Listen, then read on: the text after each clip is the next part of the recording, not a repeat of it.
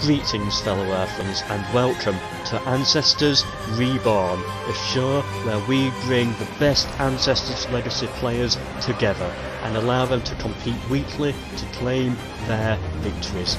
I am Melkor. I am bringing you a show that gives you access to the top players, their strategies, how they fight and how the games are won. Witness as the slightest decisions can change the tide of the entire battlefield and the smallest base rush can leave a foe's legacy in ruin. Now, on Ancestors Reborn.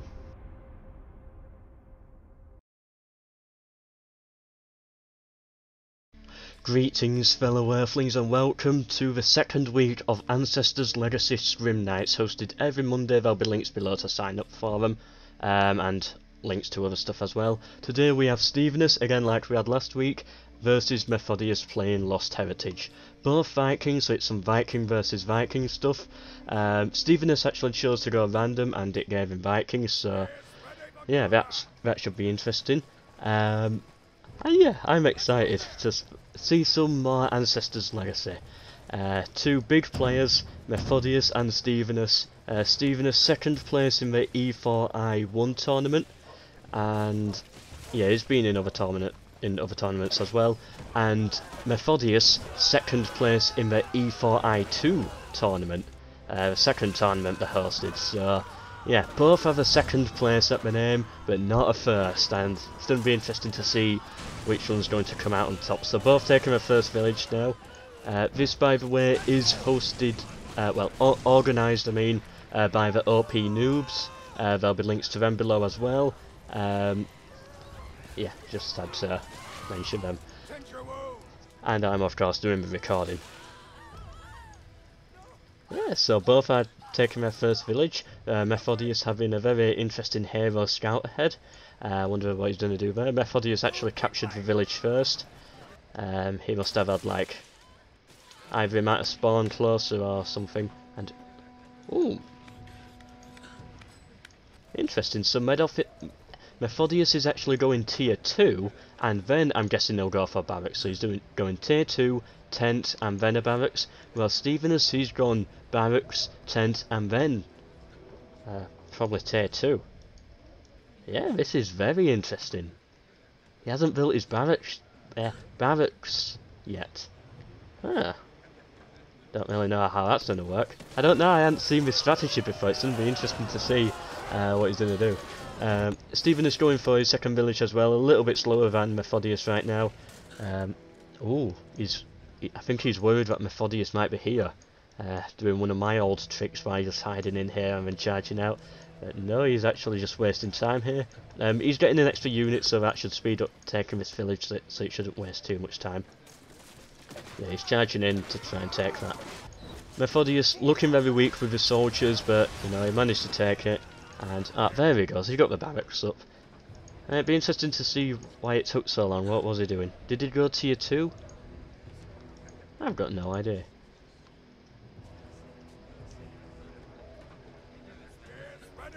Anyway, Stephen has taken this. He's got his third unit, so uh, yeah, he's he was in the lead with he he is in the lead with units because he's got a fourth spearman out, um, a third spearman, fourth unit. Um, he's taken this, so it's currently a four squads versus three squad. Methodius struggling with numbers, and here we go. Methodius got another unit out now. So, balance the game. Both going for different strategies how they approach each other. But Methodius should spot this, and yeah, he's hiding in the forest. He didn't get seen. Um, is he going to try and ambush? Uh, stuff happening over there as well, where my mouse is. Yeah, he's formed. Good timing there, managed to form into circle formation, and yeah, Stevenus knew no point engaging that, it was too slow. Um, he's had to retreat, and now he's just going to get run down. Um, it looks like oh, he broke him there as well. Yeah, I think I think Steven has just made a few quite slow plays and yeah, it didn't work in his favour. But he's regrouped. He didn't lose too much. Luckily, he got out of there in time. Um, he actually kind of worked in his favour retreating, and now, yeah, got the flank. There we go. That worked in his favour. He's gonna either kill this unit or force it to retreat. And yes, he got the kill. Um, I mean, I'm an unbiased commentator here, unbiased, but I, I just like to see interesting stuff happen. Uh, so Methodius realised that he's going to lose over here. Stevenus is going to come up here, so just just pull back and see what it can do. Stephen is causing trouble on this side. Uh, gonna kill some peasants and set this alight. Yeah, it's it's looking in uh, Stevie's favour now. Uh, Methodius having to really pull back to try and save his village here. I think Stephen has sensed it. He saw that he was taking this through the fog of war. He's moving up now. Methodius is not here. Therefore, where is he going? He must be coming this way. Or maybe he just knew he couldn't take it. That, that would actually fit as well. Uh, Methodius trying to um, like uh, mirror Stephenus's mu movements to try and take this village. Interestingly, he had uh, this on guard. He might have been expecting an attack to come from somewhere. What I'm guessing is he saw them retreat from here, and he thought they might be going up here to take this. So he thought, just ring the bell for 10 seconds and see what happens. But as soon as he saw that they were going this way to try and relieve Village C, then he knew immediately at that point, D is safe. And, ooh, interesting trap. So Methodius placed a trap here, which I don't think Stephenus will expect, so he's done a more than likely run right into that. Stephenus run the bell of the village, he's defending it.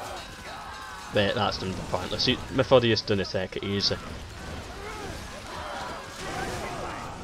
So it is currently balanced, but once Methodius takes this, the war score will be ticking in his favour. Methodius having to uh, replenish and heal his troops here. Uh, has managed only just to get his spearmen out, uh, bringing in another one to defend mid.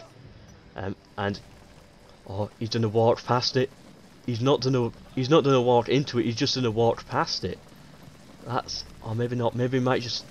Oh, he was so close. Oh, that that is not what Methodius wanted, he just walked straight past it. Methodius does have some extra spearmen coming up. Um, he actually didn't not def bother defending that, I probably thought the trap would do it, but no, he just he placed it a couple of millimetres at the wrong side. He's done to try and take this instead. I think if Stephenus to get this into gold about now, it should probably defend it. Um, or maybe it might fall to Methodius. Stephenus has taken this village here. Um, well, he's capturing it anyway and he should take it without very uh, without much uh, trouble. But yeah, how he avoided this trap, was it? Was it an actual killing trap or just a small pit trap that? I don't know, it's... Yeah, it's difficult to tell which trap is which when they're like that. Methodius, oh, that's his second unit is lost. Not what he wants. Stephen is trying to save this village here. Methodius did manage to take it, as you can clearly see. Um, yeah, and he is going to hold off Stephenus as well. Methodius trying to take middle this time. I don't think he can do it. I don't think he's got the strength. And did he walk through the trap? I've got no idea. but somehow Stephen has got round it again. Um, huh, sadly, I missed that. Um, it looks like he's going for some sneaky play to try and take E, whereas um, he's sending his other groups around here to uh, take A, probably with some other units as well. No, I think he actually lost his spearman here. I think it died. Not what he wanted. Um, he should hold on here, and even if he does have to retreat, you know, his village should be fine. That's not going to be a problem. Destroying Methodius over here as well with help from the hero. Um, he is attacking this village. Methodius has not noticed it yet, and he's going to lose it just because of that. You know, if in, if he spotted it a bit earlier, it is dark, so it would have been difficult, but he could have defended that if his reactions were a little bit quicker. Um, oh, brilliant play by Stephenus. Uh, distract these two with hero and spears and then just send in a unit just to take the village and then he's probably just going to charge and then get the flank. Maybe even white bow squads. No, they managed to retreat which is unfortunate for Stevens. He's going to come back here, uh, replenish. However, if I was Stevens, I'd actually send a couple of units back here because it's quite obvious that Methodius would be wanting to push this, which he is doing with two units and he's got two retreating here who could quite easily move up here and replenish. Uh, he managed to capture this. Uh, Methodius got, uh, bringing back his troops here to defend C. Uh, Methodius just spamming those spears. It's going to be interesting to see who goes swordsman first. Because whoever gets those swordsmen first is going to get a big advantage. wonder if any of them are in tier 3 yet. So now Methodius is still training uh, his spears. And Stephenus, yeah, same again, still going for spears. Stevenus wanting to try and retake his village. I like how it's been mostly even.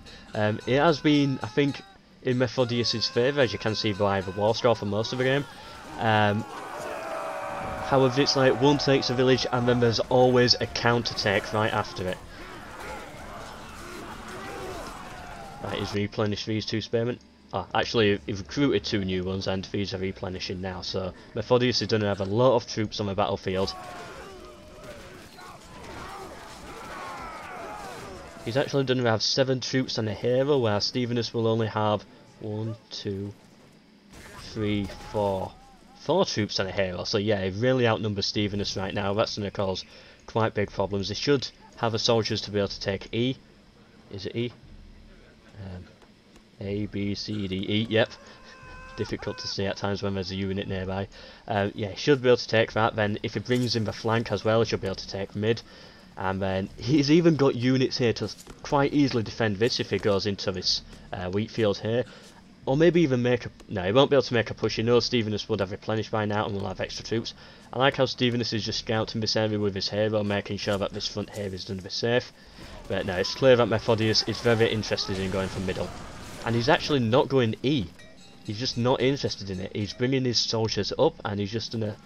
He knows that this is so close to his village that he can take it whenever he wants. So he's just gonna leave it here and just let Stevenus hold it for now and actually take...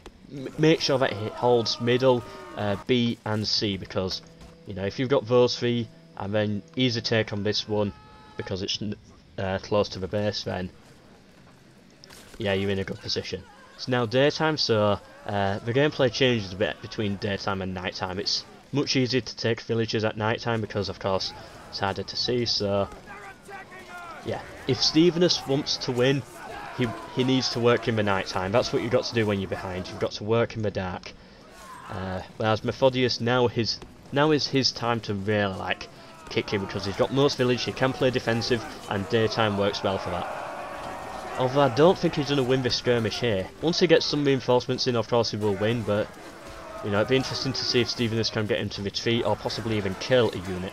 Um, and here we go, Stevenus rotating onto the swordsman now. That's why Methodius was able to outnumber him. It's because Stevenus invested in tier 3 and is going in for these uh, swordsmen for the advantage. Although, you know, although swordsmen are better versus spears, when you're outnumbered 1 to 3, or 3 to 1. Um, yeah, still you're probably going to lose that one. Yeah, Stevenus here, he just doesn't have the troops to take this village, and it looks like Methodius made a very sneaky play to just move up and take D from Stephenus uh, with these two that came around here, which... Um, oh, they're immediately going to come into conflict with some swordsmen. He made a charge just to, um, I think, try to make sure that... I don't know. I think he was trying to get some units fighting and in the base so that he can cap the village and still hold. Yeah, he's realised that he's going to lose here. Just pull back uh, to like here or something or mid and just replenish. Uh, Stevenus has this place under siege. Uh, Methodius cannot do anything about it right now because as soon as he does, if he brings his units out, uh, then Stevenus is just going uh, kill him and ruin his economy. Uh, all Methodius needs is basically one unit here and he'll be fine. This village will be saved. Yeah, so it's not actually over for Stevenus, even though that is actually uh, two villages down, one village down. You know, he's going to capture this one, so he will only be one village down eventually.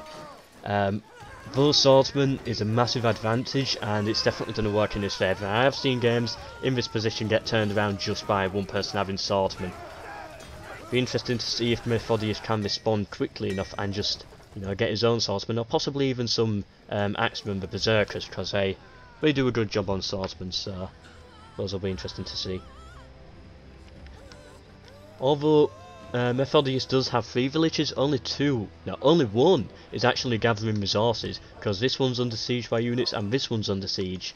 Uh, whereas Stevenus, you know, he's got nothing generating resources right now, this one it's not under siege, I don't have a unit here, he could probably afford to release the peasants and work for resources, but of course he doesn't see the full map as we do. Um, oh, that's actually what he's doing. He's trying to guess that Methodius, he's not interested in this right now. Just release the peasants, get the resources.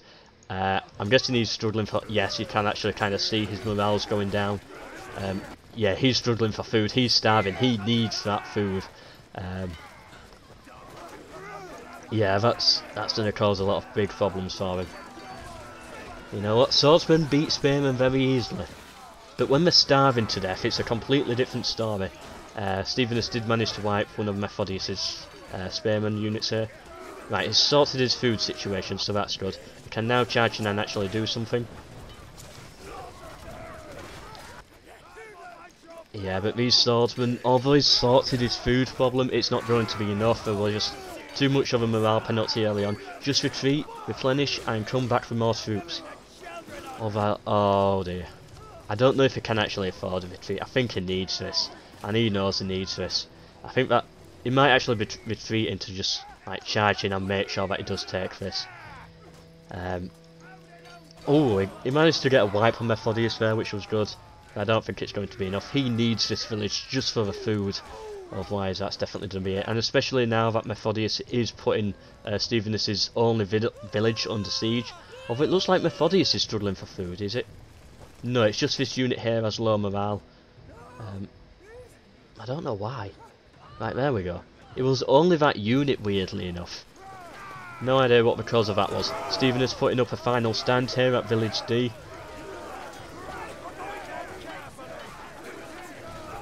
He's bringing in some swordsmen and he, he didn't even bother replenishing these, he just knew he had to charge in and just do whatever he could. Right now, it might actually be best just retreating with spearmen as well. Or using him to defend this village because, you know, Stevenus needs resources more than Methodius does now. Methodius has resources to spare no matter what, but as Stevenus he needs whatever he can get.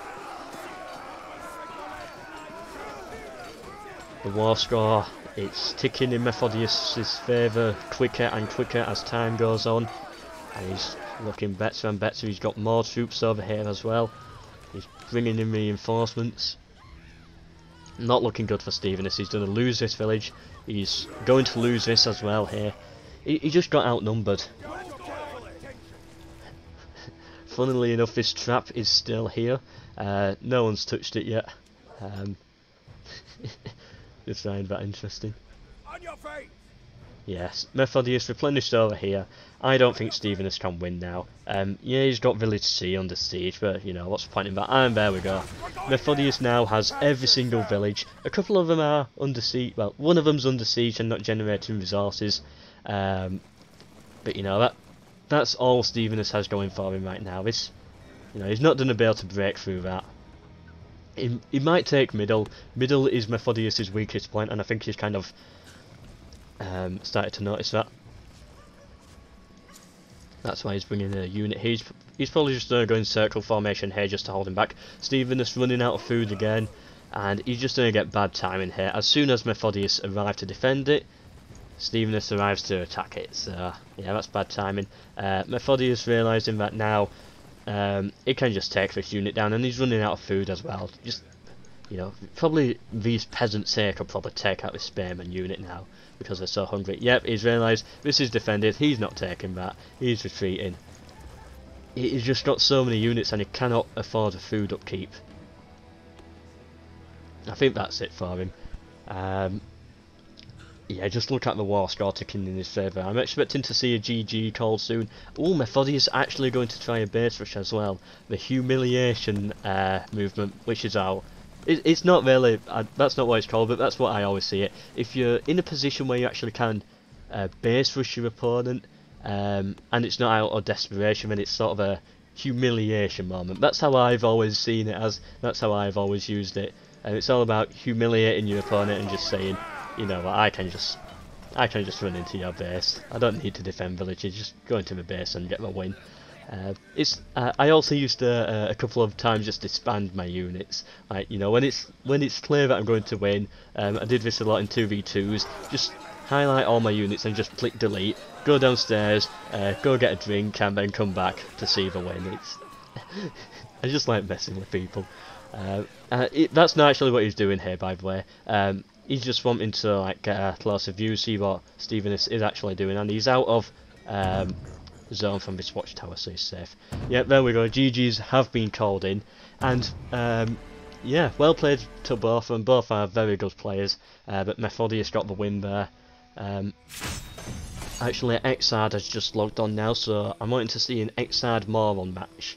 Um, thank you to both players for allowing me to record this. Uh, thank you to the OP Noobs for organising and destructive. I always have problems saying this. Destructive Creations, for developers, uh, for of course stuff. Um, you know, or, organising that as well and for game and everything. Uh, thank you. Hope you enjoyed and goodbye.